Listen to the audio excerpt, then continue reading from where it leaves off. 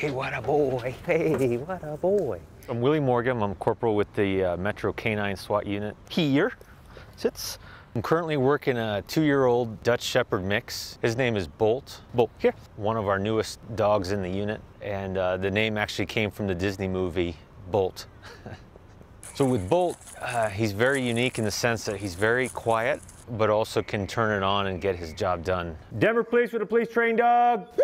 Our primary focus is locating suspects, but he's also trained in locating firearms. Good boy. With our canines, their uh, nose is very strong, uh, one of their best senses. Yep. There isn't a tool out there as useful that has helped us locating suspects. Here, we're constantly training.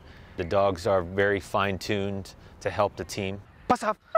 I've been uh, training dogs since probably I was 10 years old. Since I was a little kid, my dream was to be a canine officer. Yes. All right.